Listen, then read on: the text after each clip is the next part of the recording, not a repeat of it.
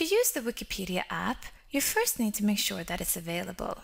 If you've added it, you will see it under the Insert tab in the Apps section. If you don't see the Wikipedia app there, click the Store button. Search for Wikipedia in the Office Store and then click Add. Once it's been added, click Wikipedia to open up the Wikipedia sidebar. Double-click the word you want to look up.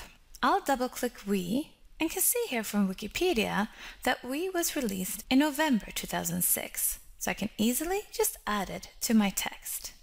The beauty here is that you don't have to leave Word to find the information you're looking for. It's all there directly at your fingertips.